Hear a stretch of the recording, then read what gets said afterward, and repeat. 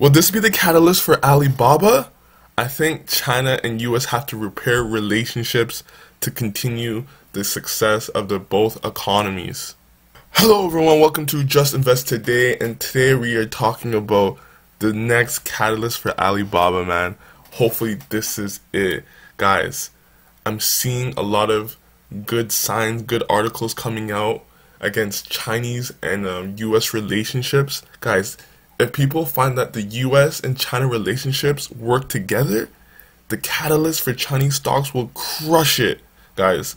So that's what I'm seeing right now. Let's get into this article. People do not want you to see this article, guys. They're hiding it from you.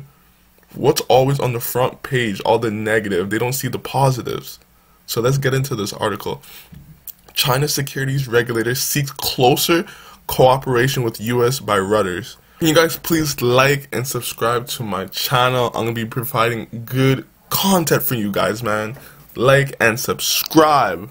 China's securities regulator said on Sunday it will seek closer cooperation with the US counterpart and support overseas listings after US regulators tightened disclosure for Chinese companies expressed concern about Beijing's regulatory actions.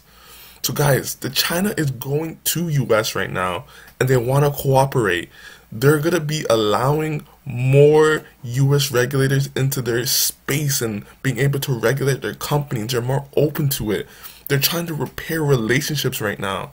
So, guys, all this uncertainty is good for the stock, it's good for having these short term issues because we can buy companies at cheap prices. So, when people see the market turning, boom, you're going to see these stocks flying.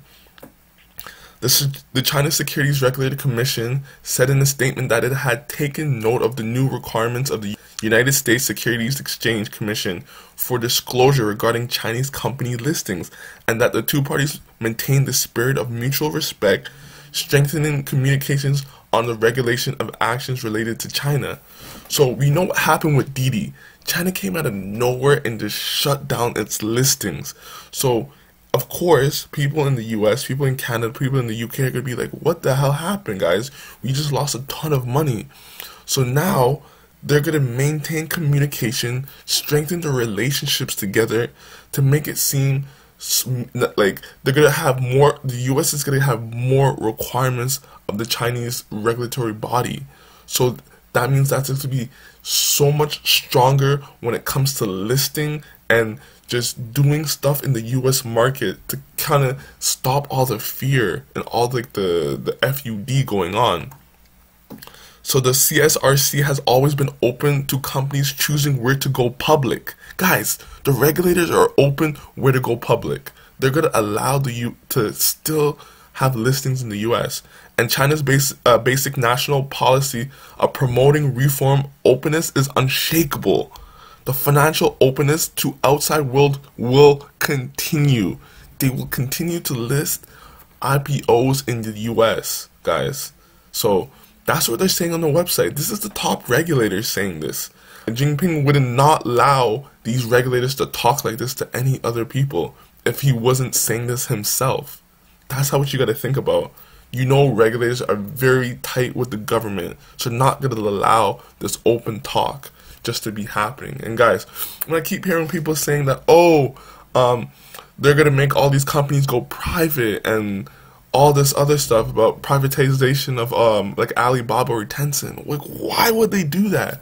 They're seeing how successful their economy has been coming, uh, becoming. Like, look at the success, the success of the Chinese market. You think they're gonna do that if the companies turn like private? Guys, they're trying to become the number one economy. Like that's one of their goals. So why would they privatize these strong companies now after all this success? It doesn't make sense. So Chinese issuers must also disclose whether they were denied permission by the Chinese authorities to list on the US exchange and the risk that such approval could be denied or rescinded. So that was the issue with Didi guys. They didn't like they didn't go through the whole process the Chinese government told them, no, you cannot list, but they still did it anyways because they were money hungry. They they needed the money, Didi, right? So, and then the whole hammer down on Didi just killed that stock, man, just destroyed it.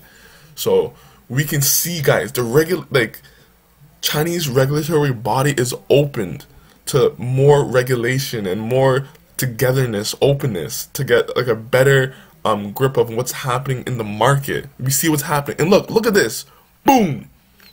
And shift, Biden has created diplomat, not politician, for ambassador to China.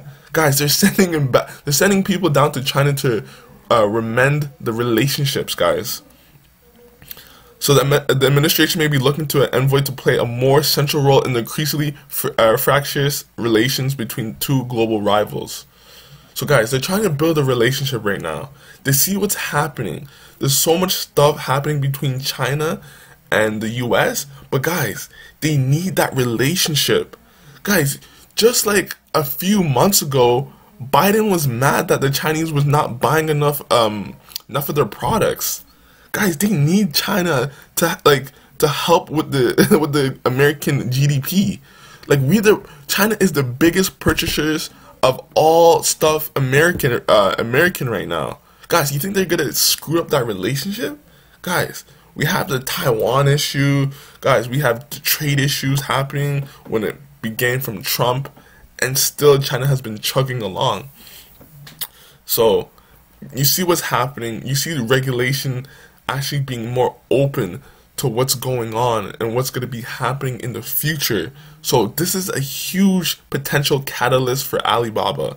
Like I can see this being a big catalyst. Soon as people amend relationships and people see the China and US government working together, once these articles become more mainstream, guys, the stock will blow. Like all the Chinese stocks will blow up. If you like this video, like it, subscribe to my channel, and get back to you in the next video. Peace!